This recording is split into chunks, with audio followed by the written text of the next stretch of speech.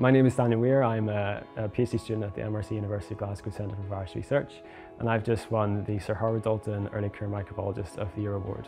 To find out I was the winner was extremely shocking. I was very comfortably seated when my name was read out and then had to scramble up to get, to get up. Um, and I'm sorry for the toes that I stepped on in the process. But it's, a, it's incredibly humbling and the, the quality of science on display, I mean, every year is astonishing. So to, to be here today has been incredible. To, to be speaking um, as part of this interview as the winner of the award is simply unbelievable, but I'm going to have a great time celebrating.